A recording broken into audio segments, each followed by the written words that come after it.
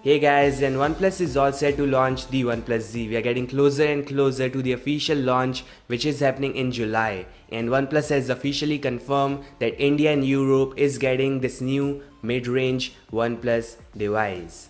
Now some breaking news, Geekbench has listed the OnePlus Z with model number OnePlus AC2003 and this listing reveals some important details. Biggest one is yes we are getting the Snapdragon 765 5G CPU which is an amazing silicon. Shocking part is it is coming with the max out 12 gigs of RAM which is I think is LPDDR4X. So yes this is gonna be the highest variant and the lowest may start with minimum 6 gigs of RAM.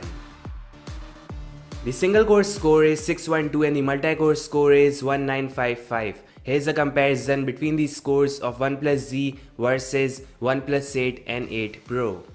You can see the OnePlus 8 and 8 Pro are nearly 2x powerful than the OnePlus Z and this however doesn't showcase the real life performance, we'll have to test that but with the Oxygen OS and other enhancement, it's gonna be powerful than other phones with the 730 and 765 5G CPU. You can see this is a comparison between the last year's Redmi K30 5G which comes with 765 5G CPU versus OnePlus Z 5G. OnePlus outperforms Xiaomi clearly. Here's a comparison between OnePlus Z 765 5G versus OnePlus 7 Pro 855 CPU.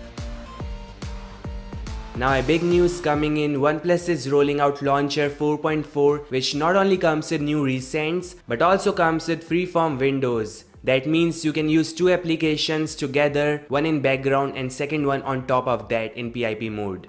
In order to use it, you have to do is open system, developer options and enable freeform windows and use it like this. That's all guys, are you excited for the OnePlus Z? Let me know your thoughts in the comment section and thanks so much for watching. I'll meet you guys in the next one. Peace out.